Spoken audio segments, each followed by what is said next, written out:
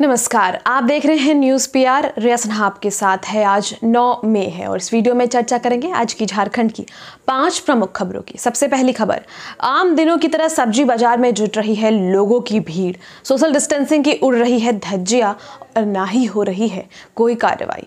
धर्मपुर स्थित लगने वाली सब्ज़ी बाज़ार में रविवार को लोगों की ऐसी भीड़ जुटी जैसे यह आम दिन है, जबकि कोरोना संक्रमण से रोज़ाना नए पॉजिटिव मरीजों की संख्या बढ़ती जा रही है। मृतकों की संख्या भी थमने का नाम नहीं ले रही है। ऐसे हालात में भी लोग सब्ज़ी बाज़ार में सोशल डिस्टेंसिंग का ख्याल रखते नज़र नहीं आ रहे हैं। यह लापरवाही लोगों पर ही भारी पड़ सकती है। अगली खबर, बड़ी राहत। रिम्स के ऑन्कोलॉजी वार्ड में 25 गंभीर मरीज़ भर्ती 500 से ज़्यादा ऑक्सीजन बेड्स खाली हैं।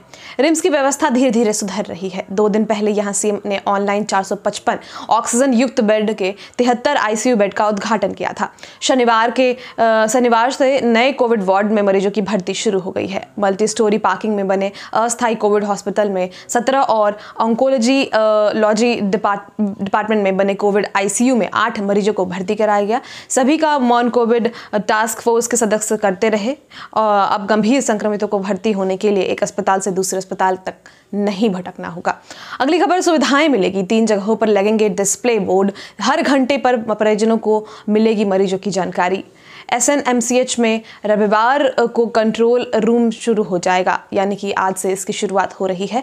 ज़िले के किसी सरकारी अस्पताल में पहली बार ऐसी व्यवस्था की जा रही है। इसके ज़रिए मरीजों और उनके परिजनों को इलाज से संबंधित हर तरह की जानकारी मिल सकेगी। जिला आपदा प्रबंधन पदाधिकार के अध्यक्ष डीसी उमा शंकर सिंह ने शनिवार को बताया कि कोविड वॉर रूम की तर्ज पर काम करने वाले इस कंट्रोल रूम के लिए बारह दंडाधिकारियों को प्रतिनियुक्ति की गई है। अगली खबर है आधुनिक सुविधा आईआईटी स्टूडेंट्स का पोर्टल बताएगा देश भर में कहाँ कोरोना संक्रमितों के इलाज के लिए क्या संसाधन है। कोरोना वायरस का संक्रमण देश भर में तेज़ी से फैल रहा है। संक्रमितों के इलाज के लिए संसाधन कम पड़ रहे हैं। अस्पतालों में बेड से लेकर ऑक्सीजन सिलेंडर कंसंट्रेटर्स और दवाओं की भी कमी है।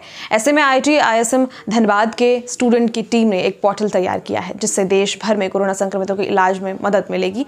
पोर्टल का वेब एड्रेस है H T P slash C R two one dot neatly five dot app इसके ज़रिए तुरंत पता चल सकता है कि कहाँ इलाज के लिए क्या सुविधाएँ उपलब्ध है ICU bed, oxygen, remdesivir plasma, pulse, oximeter जैसी ज़रूरत की तमाम चीज़ों की उपलब्ध का उपलब्धता का पता इस पोर्टल से पता चल सकेगा।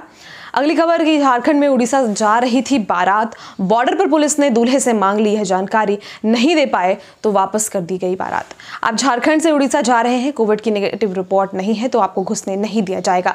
ऐसे ही वाक्य कल रात को देखने को मिला जहाँ झारखंड के गुआ से उड़ीसा के कुदलीबाद बारात ले जा रहे दूल्हा सोनरामा ठठेरा को भारतीयों समेत बारातियों समेत ओडिशा सीमा पर मोही पानी में तैनात पुलिस ने कोविड नेगेटिव टेस्ट रिपोर्ट नहीं होने के कारण वापस कर दिया। बाद में बारात मनोहरपुर पहुँची, जहाँ कोविड टेस्ट कराया गया। इसके बाद उन्होंने ओडिशा जाने की अनुमति मिली। हालाँकि इस दौरान बारात लग्न के समय से दो घंटे देर पहुँची। वहीं बीते तीन दिनों में बारात को ओडिशा सीमा से लौटने की यह तीसरी घटना है।